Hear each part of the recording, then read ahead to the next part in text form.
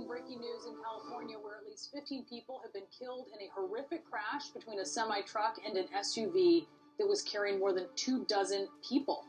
Plus, uh, New York Governor Andrew Cuomo facing a third